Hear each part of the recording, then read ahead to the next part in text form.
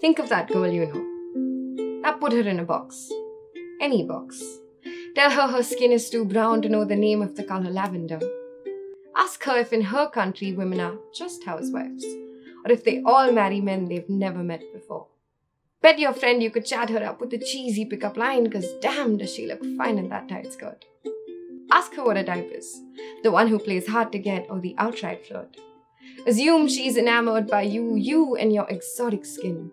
Or that what really gets her going is a pseudo intellectual stimulating conversation, because you know, she just looks like that kind of girl. Tell her she's too secure to ever create a scene. Tell her she's the exception to every rule you've ever seen, because you know, she just looks like that kind of girl. Now take a step back and try again. Maybe she was once the overweight girl who just wants to be thin, but deep down she still understands the value of what's deeper than skin. She's built with more contradictions than you could ever count. A girl who is engrossed out by farts or ashamed to say the word menstruation in casual conversation. Too ambitious to settle down, yet nothing makes her happier than family Sundays. She says she doesn't believe in God, but every night she secretly prays.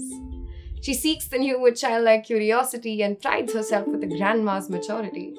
She understands the difference between careless and carefree, and no, it's not just semantics. She will trust you blindly with all that she has, but once broken, just know you can never have it back. She is everyone's friend, yet her fingers are enough to count her own. She demands certainty, she demands subjectivity. She says a whole lot of maybes.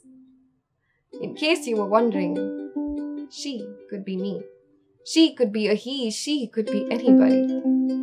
The problem with our species is our need to simplify, break each other down into meaningful pieces that carefully fit with our idea of the world. But you forget that she could be a woman and still be a girl.